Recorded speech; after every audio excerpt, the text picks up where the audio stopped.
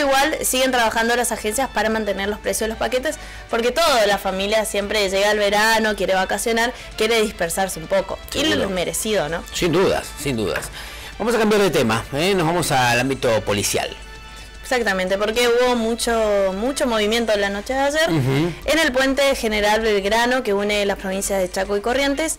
El secuestro de un auto que en el baúl tenía escondido 27 panes de marihuana. Así es, esto en el marco de eh, un operativo que realiza la policía de la provincia del Chaco y es Felices Vacaciones. ¿Eh? Exactamente. Eh, que se inició ayer en la mañana en distintos accesos de toda la provincia y que se va a mantener obviamente en todo el periodo estival de estas vacaciones de invierno.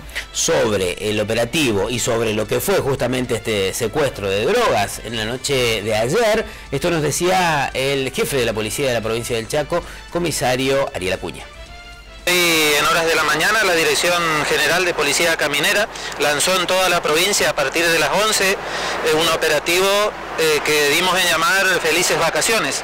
En principio este operativo eh, pretende tener disminuir los accidentes de tránsito en todas las rutas de nuestra provincia, tratando de hacer los controles de rutina, pero también educación vial, tratando de concientizar a la gente sobre el uso del cinturón, sobre un manejo correcto, adecuado, a velocidades permitidas y contando cada uno de los vehículos con las documentaciones y todos los implementos que resulten necesarios para la seguridad.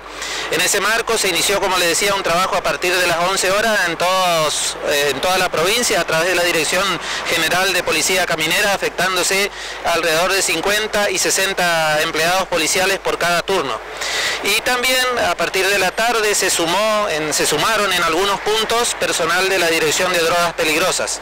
En este sentido, y aquí en el Puente General Belgrano, aquí en el puesto de control caminero, alrededor de las 18.30 horas se detuvo la marcha de un vehículo, un sandero, este, que iba manejado, conducido por una persona de sexo masculino mayor de edad, ingresaba desde la provincia de Corrientes hacia, hacia nuestra provincia.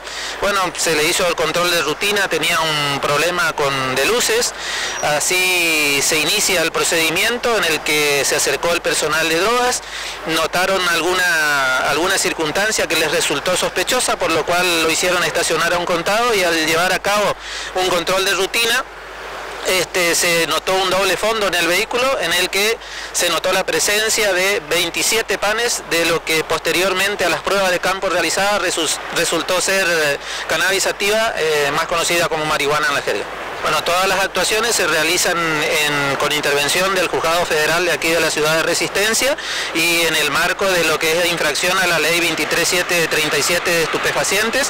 Seguramente será demorada la persona y está a disposición, como bien lo decía, del Juez Federal de Resistencia.